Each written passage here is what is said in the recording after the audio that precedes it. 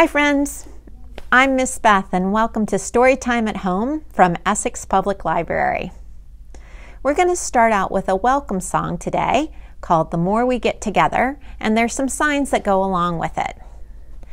So, our first sign is the sign language sign for more. Put your hands together, and this is more. Our second sign is together, some fist and a thumb, and some circles. Then our next one is happy. You're going to go like this and make sure you smile. And then our last sign is for friends. You have two. And you go like this. Are you ready? And it goes like this. The more we get together, together, together, the more we get together, the happier we'll be.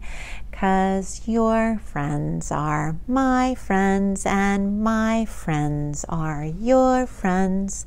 The more we get together, the happier we'll be. Let's try it again. The more we get together, together, together, the more we get together, the happier we'll be.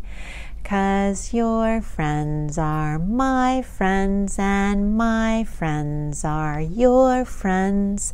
The more we get together, the happier we'll be. And how about an opposites rhyme? Let's see. How about this is big, big, big. This is small, small, small. This is short, short, short. This is tall, tall, tall. This is fast, fast, fast, fast. This is slow, slow, slow. This is yes, yes, yes. This is no, no, no. This is big, big, big. This is small, small, small. This is short, short, short. This is tall, tall, tall. Reach up there. This is fast, fast, fast. This is slow, slow, slow.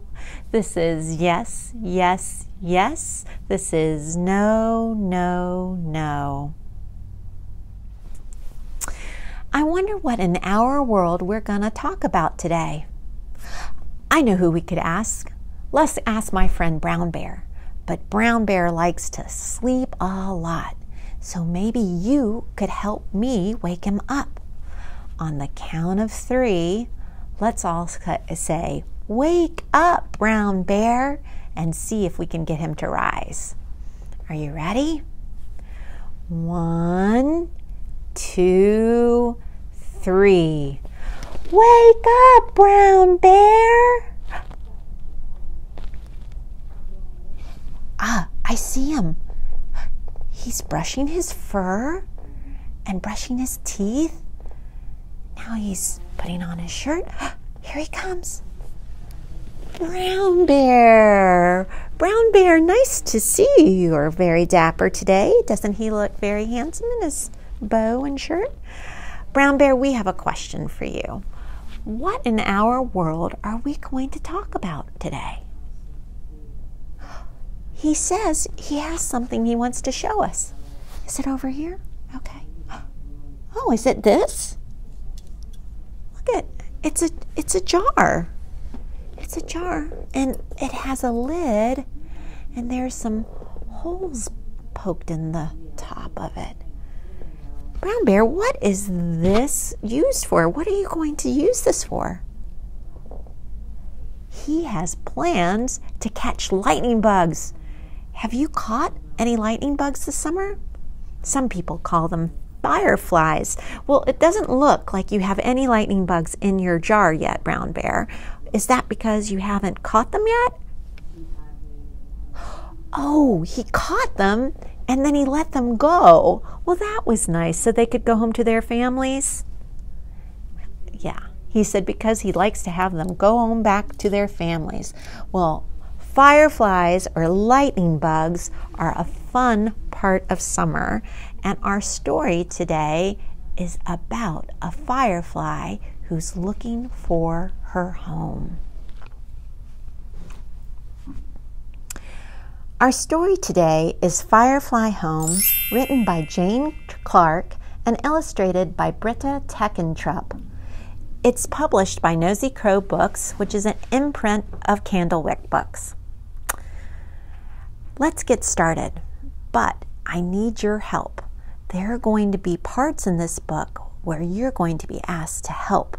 So get your voices ready and get your fingers ready, and let's see if we can help Florence find her way home.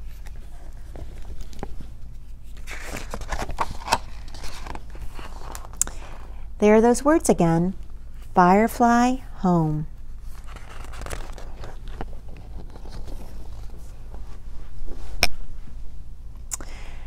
There's no place like home, and this special place is the home for fireflies. Fireflies have a bright light inside them that shimmers and shines. But wait, one little firefly is missing.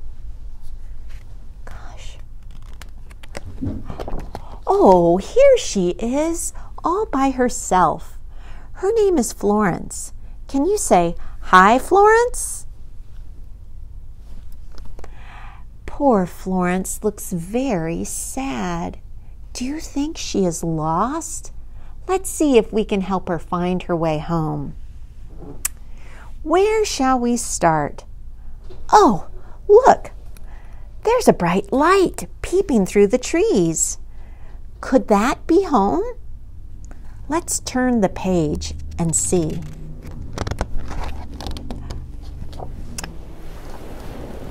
What's that? No, that's not home. It's just the big bright moon above the sparkling sea. What about those flashes of light over there? Could that be home?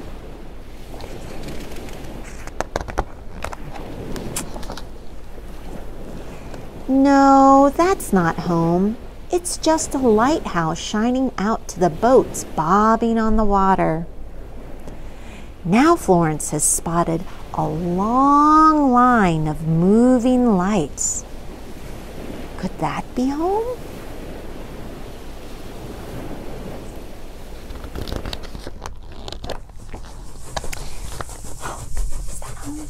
No, that's not home. It's just a train whizzing down the track. But the train's lights are so pretty that Florence wants to follow them. Say, Fly faster, Florence, and flap your hands to show her how to fly really fast. You ready? Fly faster, Florence. Let's see if you helped. Wow, that was fast. And look, where are we now? Why, we're in the big city and there are bright lights everywhere. But is it home? Is that where fireflies live? No, this isn't where fireflies live. These lights are too bright. And where's Florence? She's lost again. Can you point to her? Yes, there she is. Let's quickly turn the page to help her fly away. That's better. This park is lovely and calm, and poor Florence still looks very sad. She really needs to find her way home. Perhaps we need to make a wish.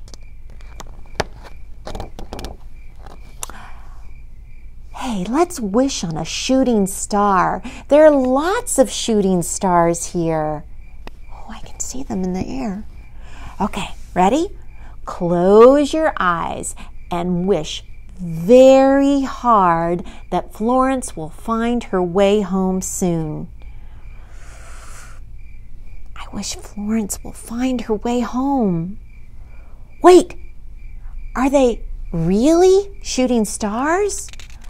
No, they're fireflies. They will know the way home. Trace the bright firefly trails with your finger and say, Fly, Florence, fly, to help her follow them. You ready? Get your finger out.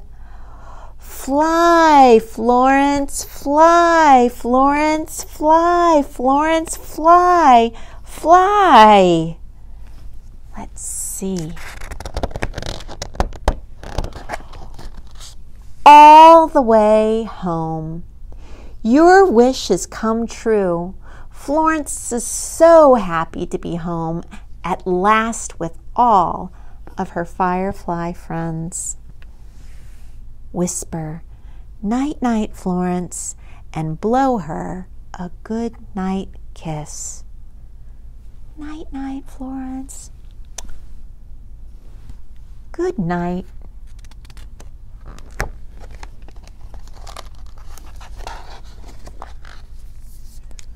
That would have been a nice bedtime story. Well, I hope you enjoyed that story. What other animals come out at night? Hmm. How about this type of animal? Do you know what this is? A barn owl. That's right. What do owls say? Hoo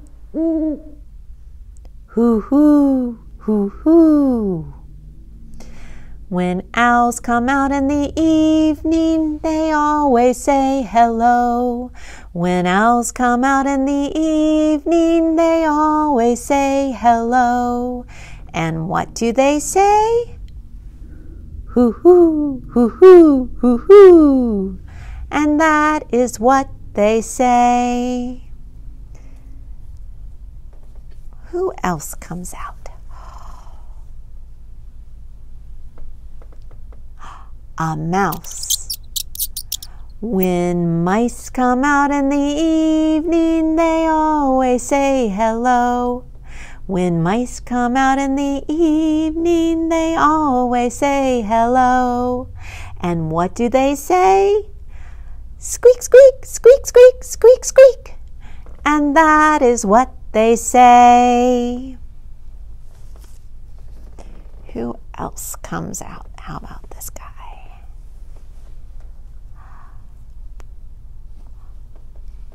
Do you know who he is?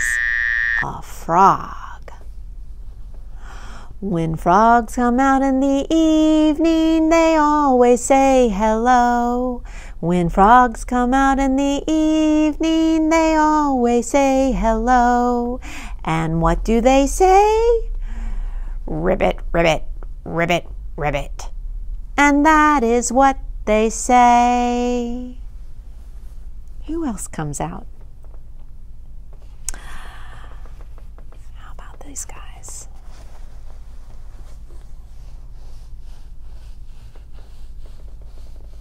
Do you know what that was? A bat. What do bats say? You know, they are quiet. They say something, they do make sounds, but they're so high that humans can't hear them. So when they come out, how do you think they say hello? Hmm. Maybe they go swoosh, swoosh, swoosh. When bats come out in the evening, they always say hello. When bats come out in the evening, they always say hello. And what do they say? Swoosh, swoosh, swoosh, swoosh. And that is what they say.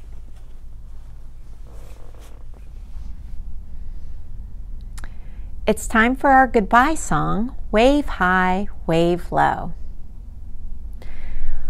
Wave high, wave low. Now it's time we've got to go. Wave your elbows. Wave your toes. Wave your tongue. And wave your nose. Wave your ears and wave your eyes. Wave your hands and say goodbye. Goodbye, friends.